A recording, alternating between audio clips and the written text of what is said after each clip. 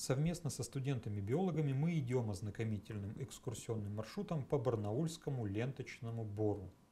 Это поистине природное достояние равнинной части Алтая, удивительный реликтовый лес. Барнаульский ленточный бор располагается в Алтайском крае. Начинается в окрестностях Барнаула, около реки Барнаулки, и заканчивается далеко, около Семипалатинска в Казахстане. Лесной массив представлен преимущественно сосной обыкновенной, Пинус сильвестрис, а также имеется в верхнем ярусе осина, береза, ива и тополь.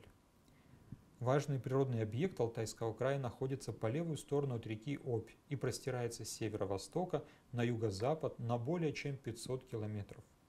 Ширина бора составляет в среднем 10 километров.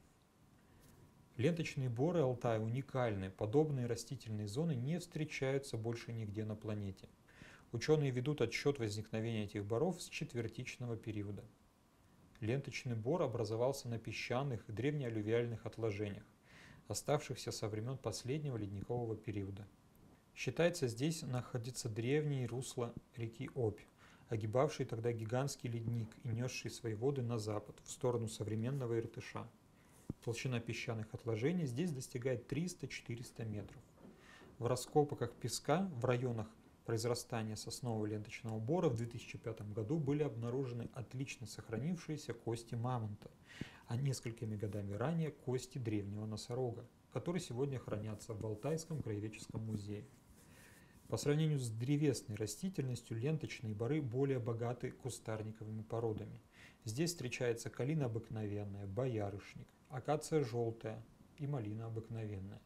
Нижний ярус представлен традиционными видами для нашего региона – папоротниками, ковылями, осоками, лютиками и другими.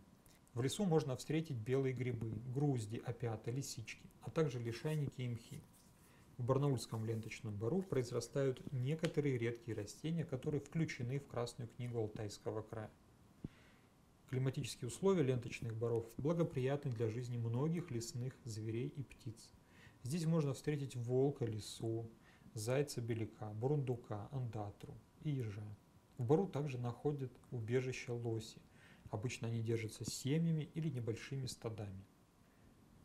Далее предлагаю вам насладиться красотой уникального реликтового леса в тишине. Приятного отдыха!